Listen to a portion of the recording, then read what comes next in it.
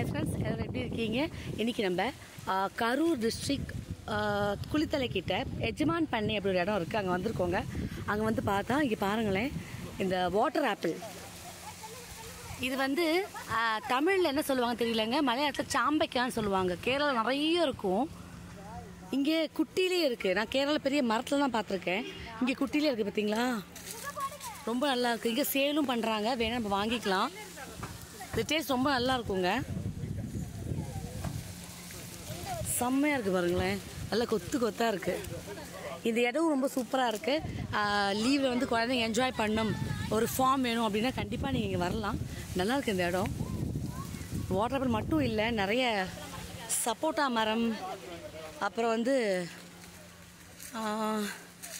இது வந்து பேரைக்காய் மலையாளத்தில் பேரைக்காய் கொய்யா மரம். கொய்யா மரம் எல்லாமே இருக்குது ரொம்ப ரம்மியமாக இருக்குது சரிங்க மீண்டும் அடுத்த ஒரு வீடியோவில் சந்திப்போம்.